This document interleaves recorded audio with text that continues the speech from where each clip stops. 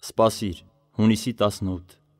Աշխարհը միշտ էլ այնպես է կարծել, որ ինձ ծառայելը կայանում է գործունեության մեջ, սակայն ինձ հետ մտերմություն հաստատած հոգիները միայն գիտեն, որ աշխարհից զատված կյանքը, աղոթքի կյանքը, հաճախ շատ ավելին է իրագործում, քան բոլոր ծառայությունները, որ մարդիկ կատարում են ինձ համար։ Եթե մարդը ինձ հետ առանձնացած կյանք է ապրում և ծառայություններ մատուցում միայն այն ժամանակ, երբ իմ հոգին ուղղակի հրամայում է իրեն, այդժամ նա կարողանում է ավելին անել և իրոք հրաշալի գործեր կատարել։